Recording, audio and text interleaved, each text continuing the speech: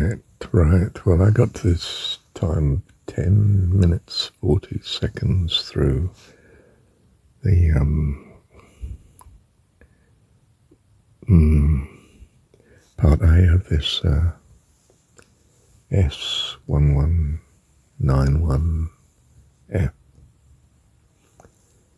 And uh,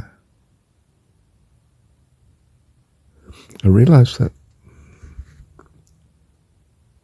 the world has mirrored in a material way by its um, pyramidal structure of politics and power. It sort of, in a material sense, worships the king, the emperor.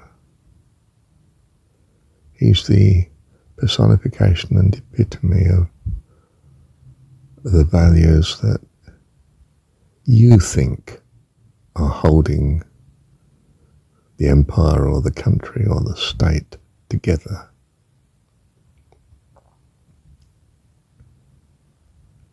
And of course, um, well, this is very much the equivalent of worshipping man. And we, we, we dismiss the fact that this absurd, unreasonable privilege of um, maximal wealth and power is is invested in their hands. And uh, as we've said in a secular way, all power corrupts, and our kings and emperors have been fine examples of this.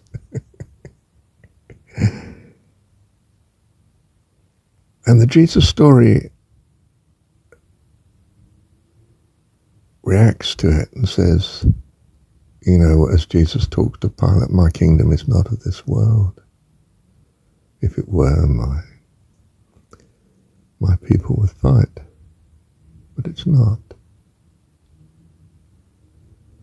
And the Jesus story changes this tyrannical thunder god, war god, emperor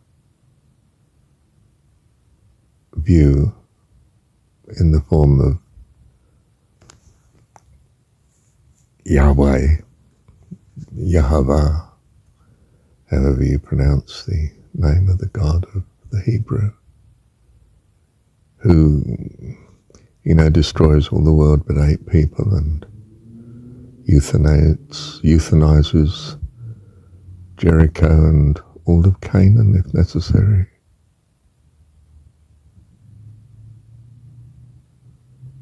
roars in thunder from the mountains and terrifies the people so that they send Moses up. They're not going to go up themselves.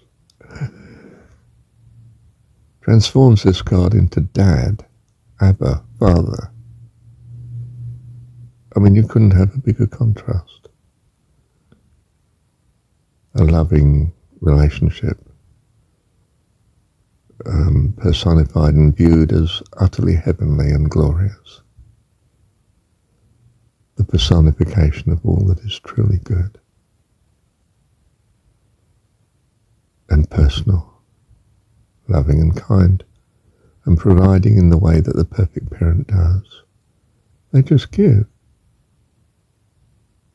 because they love the children, and we are the children, his children in the story.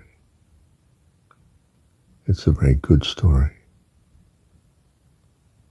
because it holds the image before us of what we find with experience in this world, sometimes very hard knocks.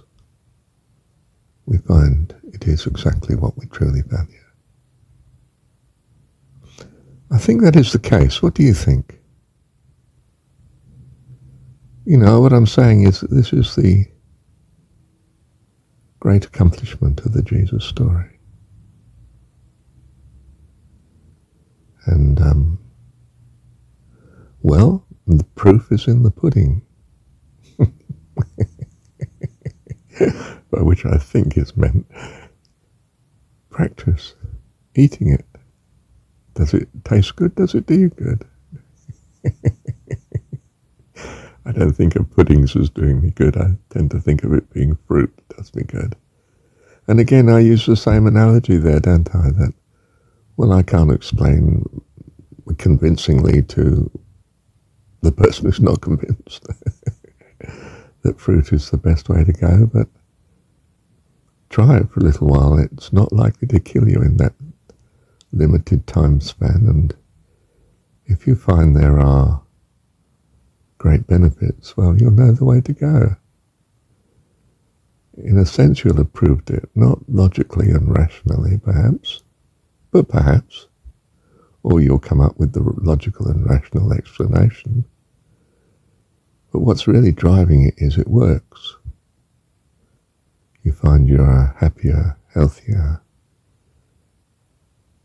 spiritual, more loving, kind person, then that's the way you'll continue going. Whether we're talking about a fruit diet or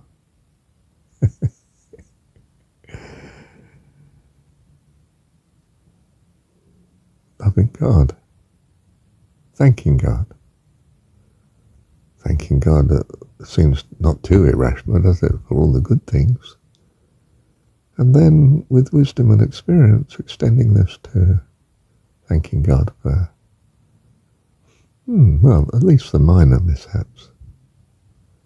And starting to see how so often you can see that what appeared to be a bad thing turned out to be quite a blessing.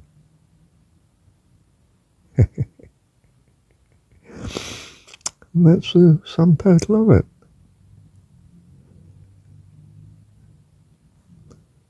Practicing thankfulness brings you all the spiritual worth that you truly do value. And, uh, well, you find you have kingdom of heaven, life eternal. This is life eternal to know thee from all the good that you have given us. Wonderful one. Love you. Thank you, Dad.